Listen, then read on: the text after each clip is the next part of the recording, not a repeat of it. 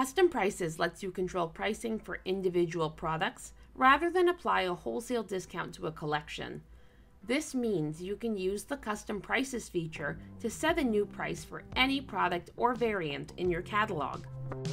Before you get started, this feature is included in your Wholesale Club trial and then in the Professional plan.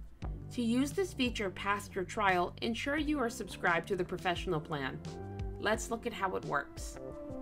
Custom Prices works by setting a new price for each of your products and variants. Instead of discounting collections by a percentage of the original retail price, enter the exact price you want your wholesale customers to pay per customer group down to the cent. Prices can be created in the Custom Prices page of the app or imported in bulk via the CSV file to save you time. To start, create a customer tag with a 0% discount rate and add all of the collections containing products that require a new price. You can search for the products you want to update in the custom prices page of the app and add a new price for each customer tag. Click Save to update the price. You can also revert to the original price of any product by entering minus one in its price field.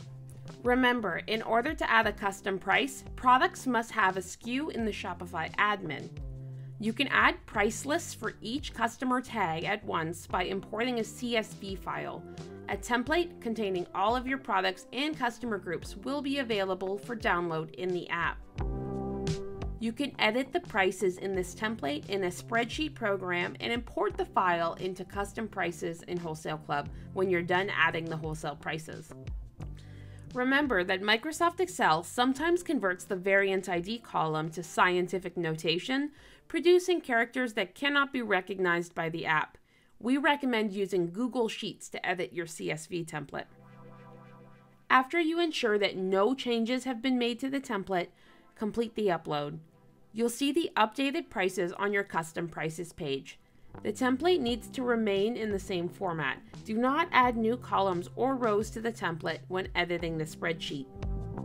To make quick changes, you can edit prices on the page rather than importing a new CSV.